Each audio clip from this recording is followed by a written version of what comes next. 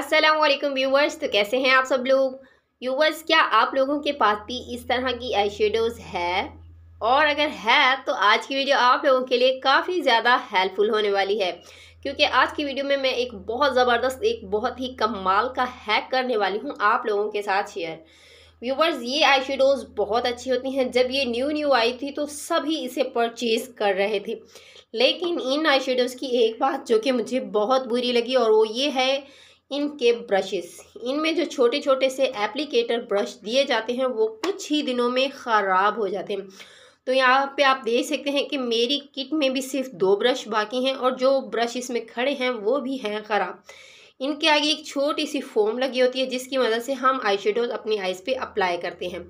और ये ब्रश जो है, सिर्फ़ दो से तीन बार इस्तेमाल करने के बाद हो जाते हैं ख़राब।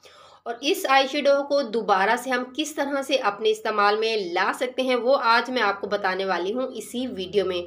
सो so, वीडियो बहुत ज़्यादा हेल्पफुल होने वाली है। आपने वीडियो को एंड तक ज़रूर देखना है। और अगर आप लोग मेरे चैनल पर न्यू हैं तो जल्दी जल्दी से मेरे चैनल को सब्सक्राइब कर दें।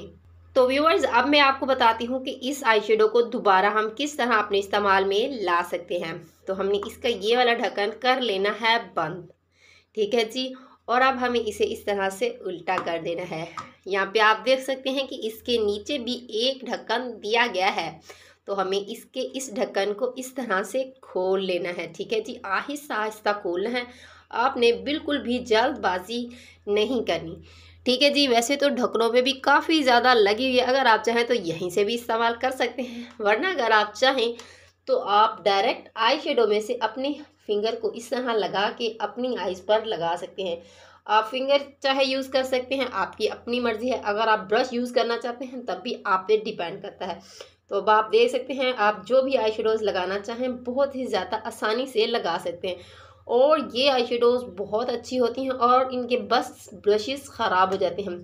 तो कैसा लगा आप लोगों को मेरा आज का हैक उम्मीद करती हूँ आप लोगों को आज की वीडियो पसंद आई होगी। वीडियो पसंद हो तो वीडियो को लाइक करके चैनल को सब्सक्राइब कर दें। मिलती हूँ नेक्स्ट वीडियो में, तब तक के लिए टेक केयर गाइस